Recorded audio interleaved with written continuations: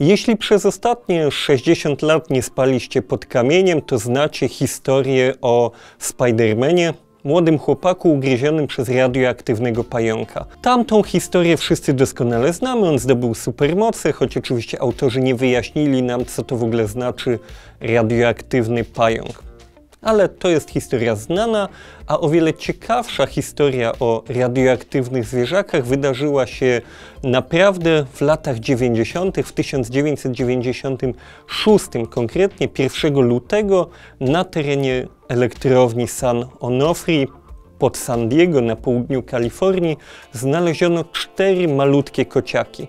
Tutaj warto dodać, że ta wielka instalacja przemysłowa była ciekawa choćby dlatego, że znajduje się na samym brzegu morza, praktycznie na plaży i przez dziesiątki lat ludzie się tam kąpali, surfowali z widokiem na ten gigantyczny przejaw ludzkiej pomysłowości. Przy okazji to budziło wiele zastrzeżeń lokalnej społeczności, było wiele protestów, wiele publikacji prasowych na temat chociażby przechowywania odpadów jądrowych. Dobrze wiemy, że energetyka jądrowa budzi wiele niepotrzebnego strachu. Te cztery kociaki zostały szybko przebadane i okazało się, że ich futro jest zanieczyszczone izotopami promieniotwórczymi.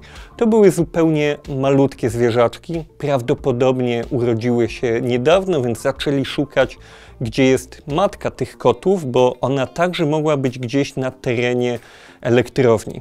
Te maluchy znaleziono pomiędzy budynkami biurowymi, ale już w tej strefie chronionej. Kocia matka musiała ominąć druty kolczaste, kamery, ochroniarzy, dostać się do środka, urodzić tam kotki i pójść polować, ponieważ znaleziono ją martwą. Ustalono, że to raczej na pewno jest matka tych kociąt ze względu na wizualne podobieństwo i podobne skażenia radiologiczne. Same kociaki dość szybko próbowali wynieść z tej elektrowni. Na bramkach okazało się, że skażenie kilkukrotnie przekracza dopuszczalne normy, więc dokonano standardowej procedury mycia, żeby wypłukać z tego futra wszelkie promieniotwórcze izotopy. Okazało się, że faktycznie udało się kilkukrotnie zmniejszyć poziom skażenia, jednak wciąż było to niewystarczające, żeby one mogły opuścić placówkę. Koty nazwano od typów promieniowania alfa, beta, gamma i neutron i pozwolono im zamieszkać na terenie elektrowni. Początkowo sądzili, że zajmie to nie więcej niż 70 dni, kiedy to skażenie te izotopy promieniotwórcze ulegną rozpadowi, koty staną się niegroźne i będzie je można wypuścić na wolność. Ostatecznie koty spędziły tam dwa lata i regularnie badano na obecność skażenia i regularnie decydowano, że to jeszcze jest zbyt wczesny moment, żeby one mogły opuścić elektrownię. W tym czasie po pierwsze stały się one praktycznie etatowymi pracownikami tego miejsca. Mm, pracownicy bardzo je polubili, nawet zachował się w lokalnej prasie, gdzie koty stanowiły sensację tamtych czasów. Zachował się cytat jednej z pracowniczek, która powiedziała, że te koty to jedni z najlepszych pracowników elektrowni jądrowej, ponieważ nigdy nie poprosili o podwyżki. W tamtych czasach te koty stały się celebrytami na tyle dużymi, że zarówno lokalna prasa, jak i nawet korespondent BBC udawali się do elektrowni pod San Diego, żeby zobaczyć te koty na żywo i opisać swoim czytelnikom, którzy oczywiście spodziewali się tam sensacji. W końcu radioaktywny kot kojarzy nam się od razu z mutantem, kojarzy nam się z dziwnymi zjawiskami z kreskówek i filmów science fiction, ale ostatecznie nic takiego się nie wydarzyło. W roku 98 te kotki zupełnie zdrowe, choć radioaktywne, zostały wypuszczone, oczywiście nie na wolność, koty to zwierzęta domowe, znaleziono im w ramach castingu dwa osobne domy, koty były cztery, dwójka różnych pracowników elektrowni jądrowej przygarnęła je pod swoje dachy i tam koty spędziły resztę swojego normalnego kociego życia. Ta historia pokazuje nam przede wszystkim to, że radioaktywność dla zwierząt i ogólnie dla organizmów żywych nie jest aż tak gigantycznym zagrożeniem, jak często nam się wydaje. Do dzisiaj wielu z nas ma wyobrażenie miejsc skażonych promieniotwórczością, mm, bardziej podobne do tego, co widzieliśmy w filmach o Mad Maxie, niż tego, co tak naprawdę sobą reprezentują. Prywatnie miałem okazję odwiedzić y, strefę wykluczenia wokół elektrowni jądrowej w Czernobylu na północy Ukrainy.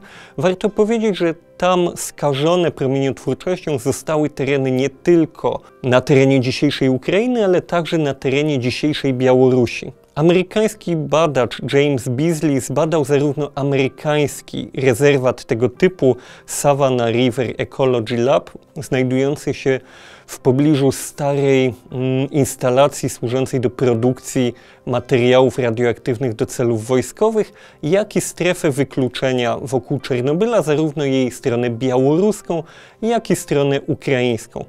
To, co udało mu się tam ustalić, bardzo dobrze odpowiada temu, co ja sam miałem okazję tam zobaczyć. A co miałem tam okazję zobaczyć? Przyrodę dziką i bogatą, taką jakiej nie da się zaobserwować w zasadzie w żadnym innym miejscu Europy, które nie byłoby ścisłym rezerwatem przyrody.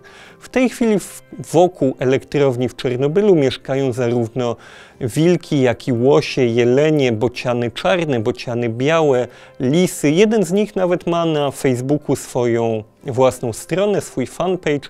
Lisek Siemion odwiedził także naszą wycieczkę, kiedy wróciliśmy do autokarów, bo tak to mniej więcej wygląda, kiedy się zwiedza Czernobyl. Lisek Siemion już czekał na nas, żebyśmy mu dali kanapki. Nie oznacza to oczywiście, że zwierzęta, które zamieszkują tego typu regiony, nie są skażone radioaktywnością. Według badań Jamesa Beasley, jedną z najbardziej narażonych grup zwierzęcych są dziki, które wyżerają korzenie, pochłaniając przy tym CES-137 w dość dużej ilości potrafią być radioaktywne. Dodatkowym problemem jest futro zwierząt. Jedną z w gruncie rzeczy nielicznych zasad bezpieczeństwa, którą przedstawiają zwiedzającym przewodnicy po czernobylskiej zonie jest absolutny zakaz głaskania bezdomnych psów, których jest tam wiele. Miałem przykrość zobaczyć, jak jeden z turystycznych busów takiego bezdomnego czernobylskiego pieska niestety potrącił, ale oprócz tego one cieszą się zupełnie przyzwoitym zdrowiem, choć ich futro faktycznie potrafi być skażone materiałami promieniotwórczymi, co nie przeszkadza im normalnie funkcjonować i co w dużym stopniu pokazuje nam, że strach przed skażeniem promieniotwórczym, choć jest realną obawą i faktycznie niesie to ze sobą pewne zagrożenia, nie powinien być aż tak wielki, jak często jest w naszych głowach. Te obawy związane ze skażeniem radioaktywnym w ostatnich dniach i tygodniach stały się znowu aktualne, ponieważ wojska rosyjskie zagrażają bezpieczeństwu zaporowskiej elektrowni jądrowej, a polityczne dowództwo tego kraju używa tej instalacji jako rodzaju elementu szantażu świata, więc istnieje rosnące ryzyko, że dojdzie do kolejnego dużego skażenia promieniotwórczością i oczywiście jest to realne zagrożenie dla świata, ale warto pamiętać, że nie jest aż tak duże, jak się czasem maluje. Jeśli dojdzie tam do poważnej awarii i katastrofy jądrowej, to nie doprowadzi do zniszczenia, wyjałowienia dużej części Europy.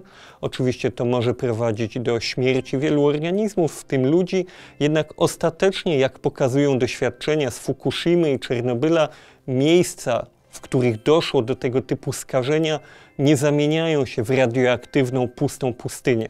Pusta pustynia brzmi oczywiście głupio, ale chodzi o to, że w tej chwili, w tych miejscach, w których doszło do tego typu skażeń, życie kwitnie, co przyznacie Państwo, daje pewną nadzieję, a w obecnych czasach nadzieja zawsze jest w cenie. Dziękuję pięknie za uwagę i widzimy się z całą pewnością niedługo.